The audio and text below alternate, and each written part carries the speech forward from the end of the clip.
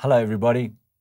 Well, if you've been around, around me, around our ministry for any length of time, you will know that actually I'm very strong on relationships.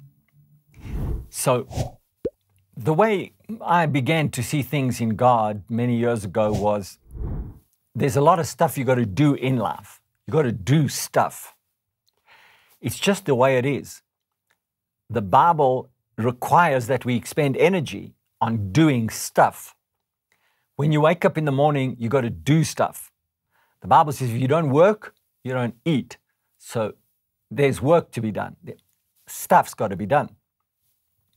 At the same time, you want to have relationships. And the real challenge that you kind of have in life is I got to do stuff, but I want to enjoy relationship. So, you know, let's go for coffee. Let's go and have a cup of tea. Let's go and have a uh, let's have a meal together. What's that all about? Well, that's because actually you enjoy having fellowship and enjoy each other's company. And life is rich when you have these kind of relationships. But then there's stuff to be done. So you tend to find that trying to balance these two together in your life is always going to be a challenge.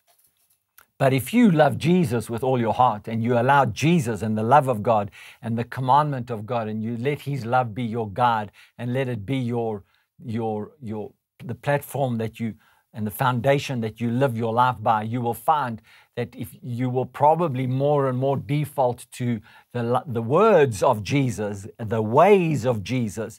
And the more you default to that, the more you'll find that the stuff you got to do becomes um, more powerful and easier to get through, and, and you'll get results that you didn't ever think you could get.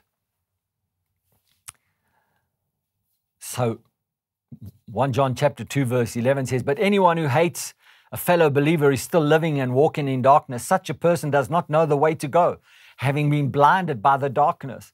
In other words, if you're stumbling around in darkness and you don't know which way to go, it's probably because, first of all, you haven't put Jesus as first place and love in your heart and your life. And secondly, you got to give place for the, for the love of the body of Christ. In fact, Jesus felt so strongly about this that one day uh, the people came to call him and they, they pulled a relationship move on him.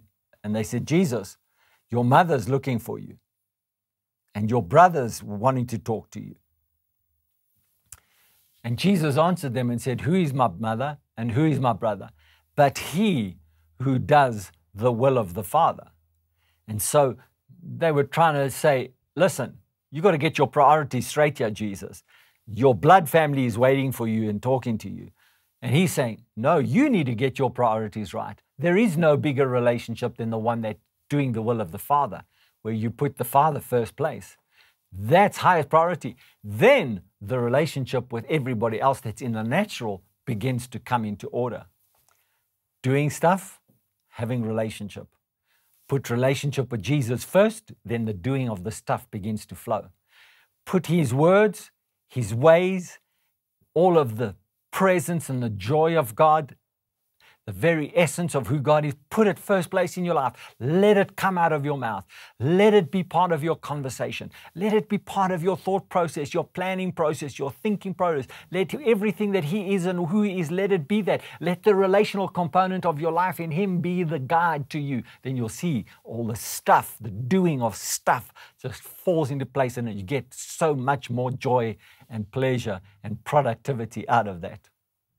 Wow such a wonderful time I've had with you this morning. I look forward to having uh, more time with you around this subject. Thank you for, for tuning in today, and God bless you.